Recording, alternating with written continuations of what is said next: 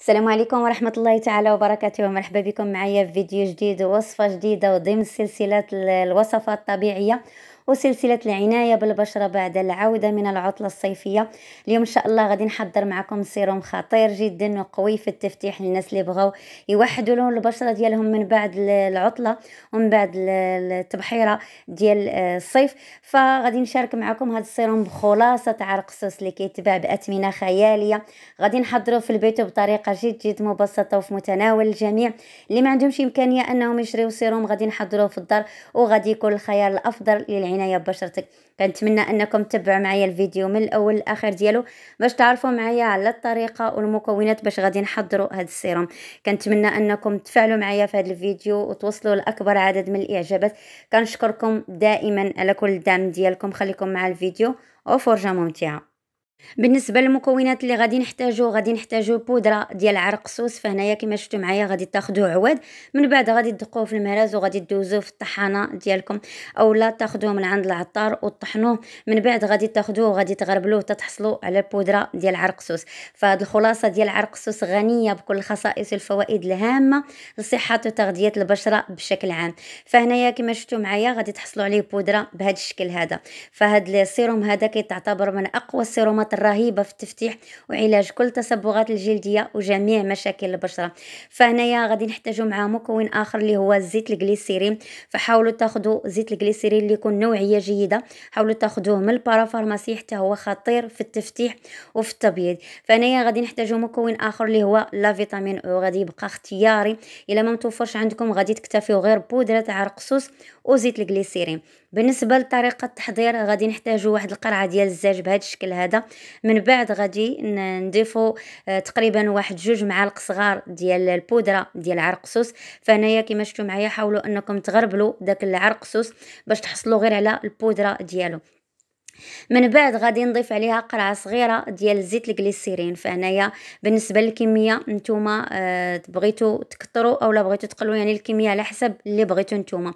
فهنايا ضفت أنا قرعة صغيرة ديال زيت الجليسيرين مع جوج معالق صغار ديال بودرة ديال عرقسوس غادي نخلط هاد المكونات مزيان مزيان حتى يتخلطوا ليا دوك المكونات.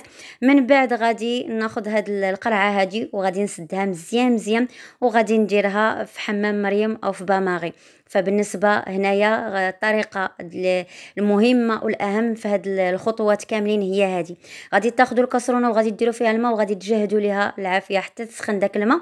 ومني كيبان لينا داك الماء بدا كيغلي عاد باش غادي نقصوا عليه العافية مهيلة. وغادي تخليوه داك العرقسوس يطلق لينا مزيان مع داك الزيت ديال الجليسرين. غادي تخليوه لمدة ديال نصف ساعة. فهنايا ما تجهدوش العافية باش ما ترتقش لكم القرعة لنا ديال الزاج حاولوا أنكم تنقصوا عليه العافية مهيلة. مهيلة وتخليوه لمده ديال نصف ساعة من بعد عاد باش غادي نوريكم الطريقة كيفاش غادي آه، تستعملوه فهنايا كما شفتوا معايا خديت ديك القرعه من بعد ما دازت المدة ديال نصف ساعة درتها في واحد الغطيطه يعني بواحد السيف اللي ما غاديش يكون يدخل لنا الأشعة ديال الضوء وغادي تحتفظوا به في شي بلاصة عندكم مظلمة لمدة ديال 3 أيام. فهنايا من بعد ما داز المدة ديال 3 أيام على الخلاصة ديال عرقسوس ديالنا كما شفتوا اللون ديال الزيت تغير وطلق لينا داك عرقسوس مزيان في داك الزيت ديال الجليسرين كما شفتوا معايا كيجي داك السيروم خاطر. فهنايا من بعد غادي ندوزو باش غادي نصفيو. فهنايا غادي تاخذوا يا إما شي صفاية اللي غادي تكون رقيقة أو غادي تاخذوا شي les bas mousse باش غادي دوزو ما بغيناش يهبط لينا دوك داك الفتات ديال عرقسوس بغينا السيروم اللي غادي يكون رطب وغادي يكون الملمس ديالو ناعم على البشرة ديالنا. فهنا كما شفتوا معايا دوزتو في الصفايه يعني وما تصفاش ليا مزيان وعاود دوزتو في les bas باش غادي نحصلوا على هاد الشكل هذا كما شفتوا معايا على السيروم يعني بحال شي سيروم اللي كيتباع يعني آه، جاهز. فهنايا من بعد ما صفيتو بهذا الشكل هذا غادي نضيف عليه قطرات من la vitamine E. فهنا la vitamine E حتى هو كيجدد لنا خلايا البشرة وكيغذيها في نفس الوقت كيرطبها. غادي نضيف هنا تقريبا واحد ثلاثة ولا أربعة ديال القطرات ديال لا فيتامين أو. من بعد غادي نخلط هاد المكونات مزيان مزيان بهذا الشكل هذا حتى ينسجموا ليا.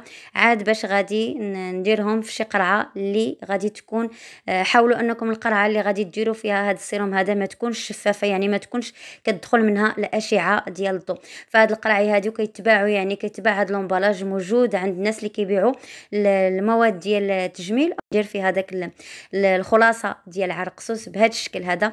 فكما شفتوا معايا؟ هذا هو الشكل ديالو ديال السيروم ديالنا. فبالنسبة لهاد عرقسوس هذا مكون ممتاز جدا. كيدخل في تحضير العديد من مستحضرات العناية بالبشرة خصوصا في التفتيح وعلاج التصبغات الجلدية الداكنة.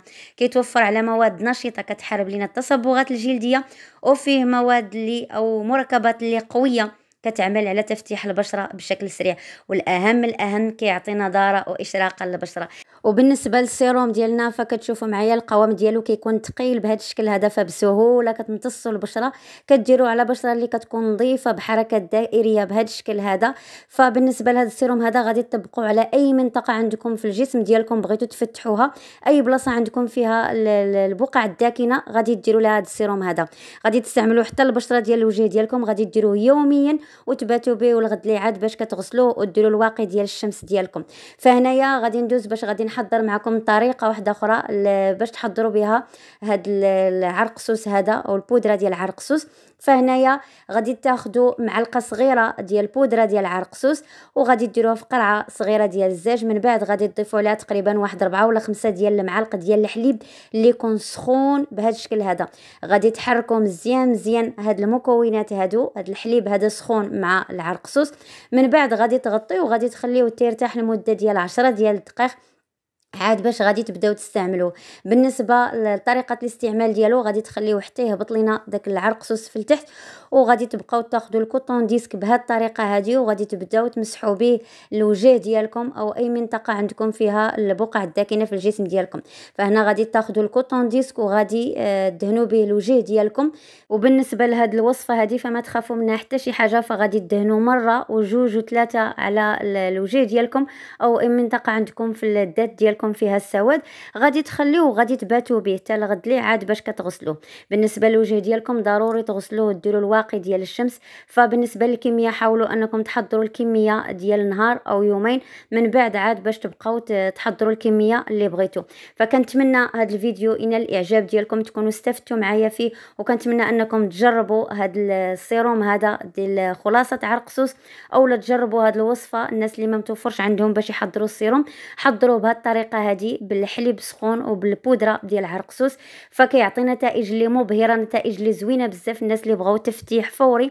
فهذا كيعطي نتائج من الأسبوع الأول كيعطي نتائج اللي زوينة بزاف. كنتمنى نلقاكم في فيديو قادم مع وصفات جديدة. شكرا لكم دائما على التشجيعات ديالكم والتعاليق المحفزة. والى عجبكم الفيديو ما تنسونيش من like وال partage حاولوا تبارطاجيو مع العائلة والأحباب ديالكم باش تكبر العائلة ديالنا. فكنقول لكم مع السلامة إلى فيديو قادم إن شاء الله.